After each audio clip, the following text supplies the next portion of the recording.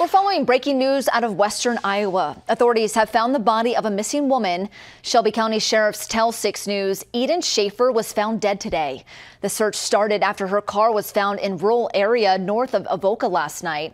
The sheriff says there's no indication of foul play. Authorities are waiting on an autopsy to learn her cause of death.